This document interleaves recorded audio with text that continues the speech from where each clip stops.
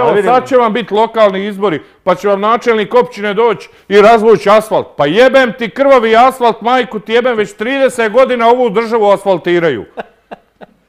Pa jeba, pa jel nije tako? Pa evo tu na Kozari boku nema asfalta. Pa jebem ti više i kozari bok i pičke materne, stalno taj asfalt, kad god su lokalni izbori, evo kamiona punog asfalta.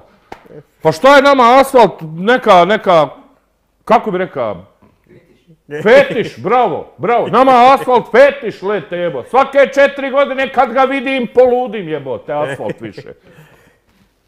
Daj posao neki da ljudi rade, da ne bježe sa sela u gradove. u nekim državama... o- On pobjegne sa sela u grad, plaća stanarinu, jebote, li ja gledam u rijeci kume, 38 kvadrata, 3000 kuna. Kakvih jebenih 3000 kuna?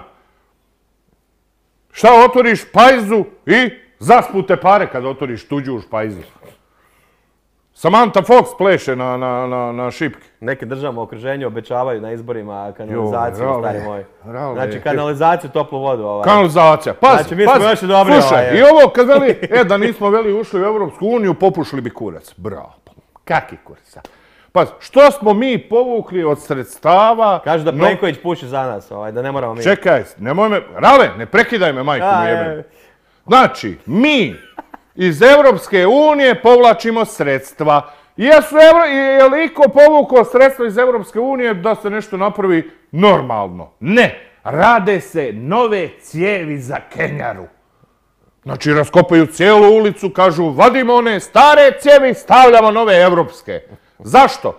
Jer naše govno kroz one stare cijevi je išlo ovako, a sad su došle nove, evropske cijevi. Pa ti kad se posereš, ono govno kad uleti unutra, valjda viče juhu, hu, idemo u separator. I to su ti naš, i oni kažu, evo, povukli smo iz Evropske unije, ne znam, milijardu nečega. I što si ti, ko građanin Republike Hrvatske dobio? Nove cijevi za Kenjaru.